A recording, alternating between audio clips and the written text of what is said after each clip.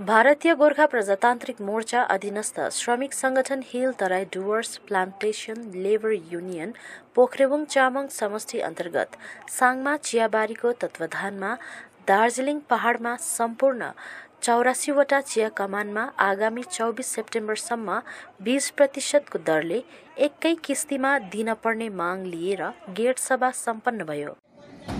हामी साङमा चियाबारी अन्तर्गत hill Terai Dooars plantation worker युनियनको भातृ सङ्गठनको सभापति विकास राई सरी प्र- प्रधान अनि म सरोज लामा मूल सचिव लगायत केन्द्रीय समिति सदस्य म सदस्य र विशेष गरेर आज हामीले अ, यो साङमा चियाबारीमा गेट मिटिङ गऱ्यौँ। अ, जुन चौरासीवटा टी गार्डनमा अ, एउटा गेट मिटिङ गरिने जुन बोनसको विषय लिएर थियो त्यो विषय हामीले आज यहाँ राखेका छौँ। अनि एउटा हामीले चिठी पनि झा साहेबलाई हामी चिठी पनि दिएका छौँ। र जबसम्म बोनस बिस प्रतिशतले पास गरिँदैन तबसम्म यो गेट मिटिङ जारी रहनेछ।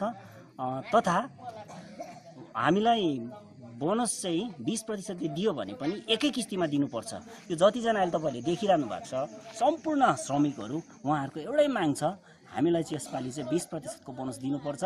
तथा त्यति मात्र होइन र चौबिस तारिकभित्रमा हामीलाई दिनुपर्छ। यदि नदिएको खण्डमा यहाँ बृहत आन्दोलन हुनेछ भन्ने आज यहाँ एउटा गेट मिटिङमा पनि सबै कुराहरू राखियो। र विशेष श्रमिकहरूको पक्षबाट उहाँहरूको कुरा बुझ्दाखेरि चाहिँ योपालि उहाँले बिस प्रतिशत बोनसदेखि कम्ती नथाप्ने र उनीहरूले कुनै पनि किस्ती चाहिँ उहाँले मान्दैन। यदि किस्ती दिन्छ र बिस प्रतिशत दिन तल दिन्छ भने योपालि दसैँ उनीहरूले मान्दैन तर उनीहरूले यो बोनसको प्रतिशत घटेको चाहिँ उनीहरूले मान्दै मान्दैन। भन्ने कुरा यस च्यानलको मार्फत तपाईँहरूलाई दिँदछु।